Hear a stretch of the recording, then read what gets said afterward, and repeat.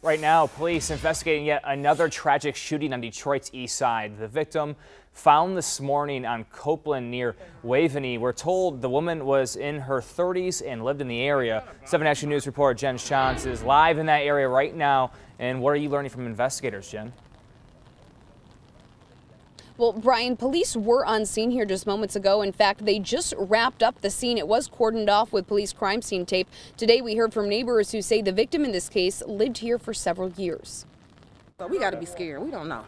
Neighbors living near Copeland and Waveney on Detroit's east side want answers after a woman was found dead here Sunday morning. Detroit police officers and medics found the victim, a black woman in her late 30s, in a vacant lot just before 11 o'clock. She'd been shot in the head. According to a police captain on scene, it's unclear when the woman was killed. Investigators are looking for who is responsible. Police have not released the woman's name. Neighbors say she lived in the area for several years and was always friendly. This is where she lived at. She was good to all of us. You know, this is not right. She looked out for everybody. Officers spent several hours here Sunday morning collecting evidence.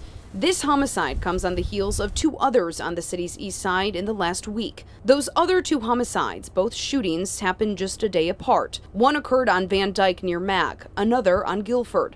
Detroit police are investigating a possible connection between those two and believe they could be gang related. They're looking for the driver of a black Chrysler 300 in connection to them. It's unclear at this point if this case is in any way related to those two.